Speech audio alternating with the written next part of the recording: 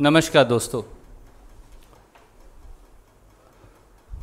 सर्वोच्च न्यायालय supreme court ने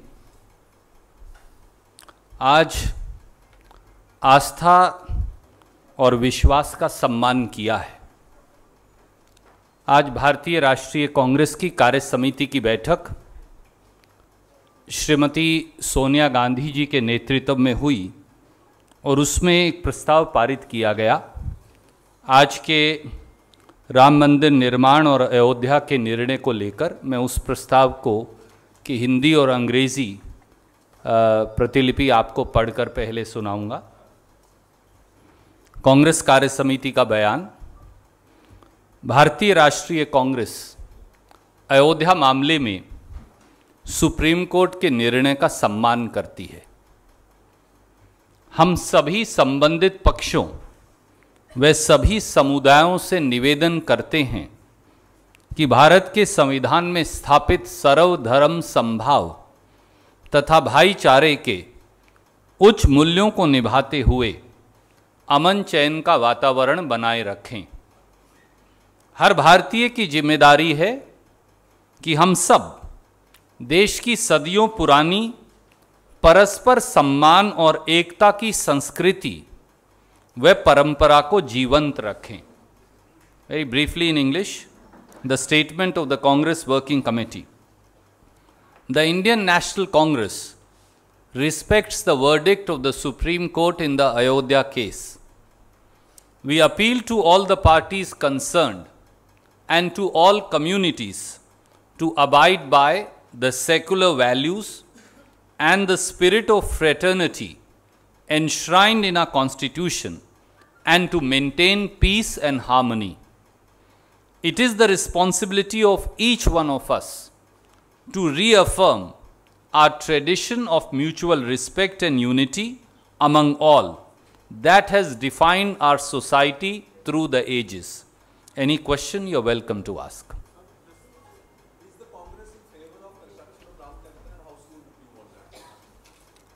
Supreme Court का निर्णय आ चुका है। स्वाभाविक तौर से आपके सवाल का जवाब हाँ में है। भारतीय राष्ट्रीय कांग्रेस, भगवान श्री राम के मंदिर के निर्माण की पक्षधर है। एनी अदर क्वेश्चंस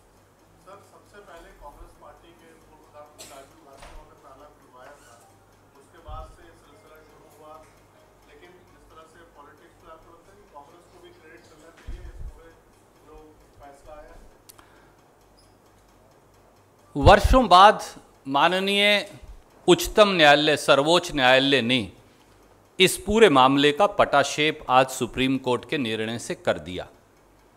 मुझे लगता है ये मामला किसी व्यक्ति, विशेष समूह या दल को श्रेय देने का है ही नहीं। जैसा मैंने कहा, सुप्रीम कोर्ट ने आस्था और विश्वास का सम्मान किया है।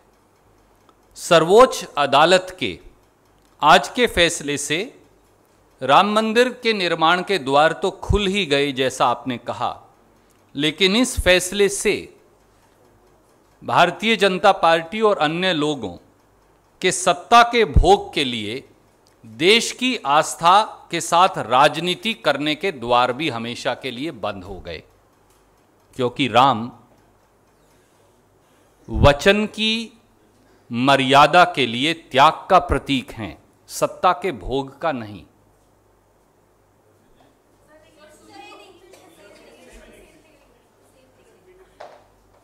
Can I just take the question and then I will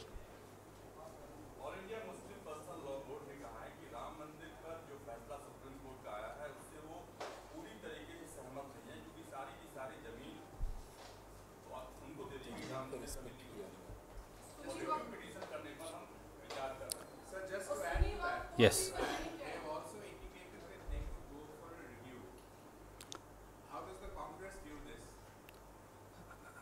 I was hearing the press conference by them, and they have also said that they deeply respect the judgment of the Supreme Court of India. Of course, everybody has a right to their own legal remedies, and they can always choose to exercise their remedies. But as far as the Indian National Congress goes, we have said what we have to say by way of a specific resolution and taken your specific question. Any other question?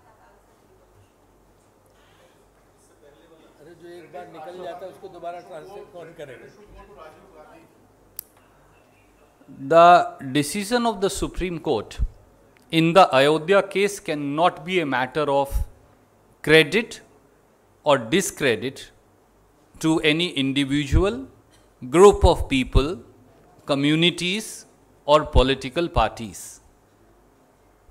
Lord Ram भगवान राम तो वचन की मर्यादा के लिए त्याग का प्रतीक हैं सत्ता के भोग का नहीं।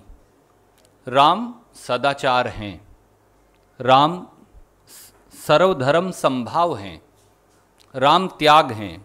राम करुणा हैं। राम प्रेम हैं, राम भाईचारा हैं। भगवान श्री राम का नाम कभी बांटने के लिए इस्तेमाल हो ही नहीं सकता।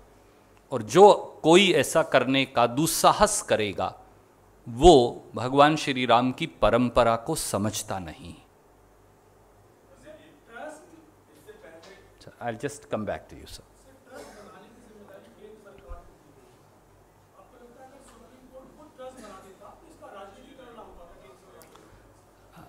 इसके कई पहलू हो सकते हैं और जो कानूनविद हैं वो अपने तरीके से चर्चा करेंगे। भारतीय राष्ट्रीय कांग्रेस का केवल ये मानना है, सुप्रीम कोर्ट ने निर्णय कर दिया, सब पक्षों को, समुदायों को और व्यक्तियों को उसका सम्मान करना चाहिए। और मैं ये याद दिलाऊं कि ये ज़मीन उन्नीस सौ तिरानवे में कांग्रेस की सरकार के द्वारा एक्वायर की गई थी।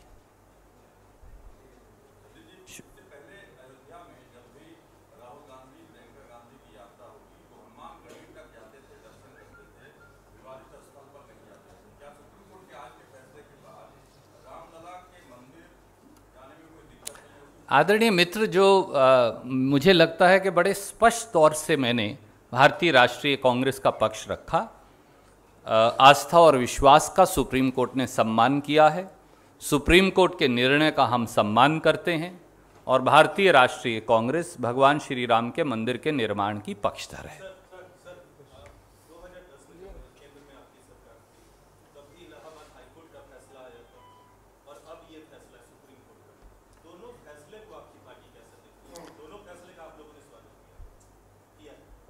भारतीय राष्ट्रीय कांग्रेस का कंसिस्टेंट अनक्वेश्चनड स्टैंड बड़ा क्लियर रहा है कि जो निर्णय अदालत का आए और सुप्रीम कोर्ट फाइनल अदालत है, उस निर्णय का सभी पक्ष, सभी समुदाय, सभी दल, सभी व्यक्ति पूर्णतः सम्मान करें और उसे मंजूर करें। उसमें कोई शक की गुंजाइश है ही नहीं। धन्यवाद।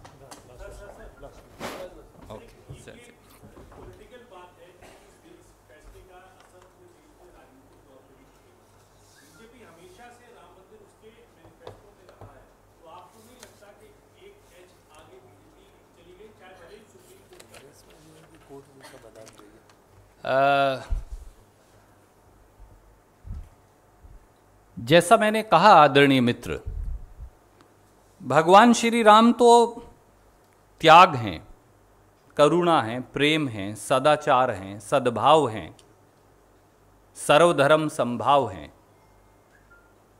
व्यक्ति और दल, भगवान श्री राम का इस्तेमाल राजनीति के लिए समय समय पर करते आए हैं।